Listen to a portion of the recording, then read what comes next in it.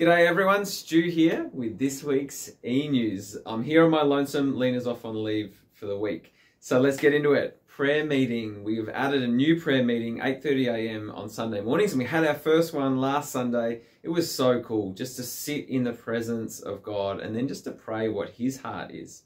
Um, it was really, really cool. It, come along this Sunday.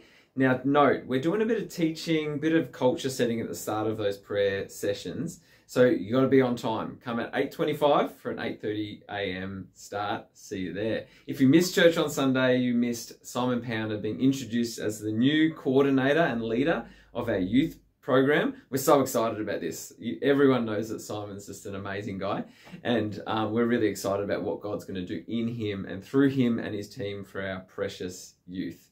Awesome. If you didn't hear him share about it, get on the YouTube channel and hear it because his heart for our young people just bursts through.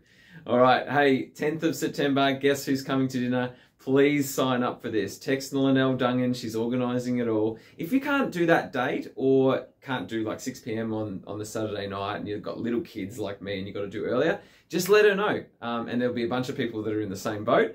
Um, so yeah, please, we're a family and we, a lot of us don't know each other. So we're really excited about um, having a guest who's coming to dinner. Awesome. Um, lastly, Jack Kroll this Wednesday night, he's preaching from Ephesians 5. If you don't know Jack, he is in love with Jesus. He's a great guy, great friend of mine. He's my basketball captain. He's just incredible all around. Um, so get along 7 p.m. Wednesday night to hear Jack. Cool, guys. We'll see you later. Make sure you like, share, subscribe. This. No, I'm just kidding. Don't do that. Bye.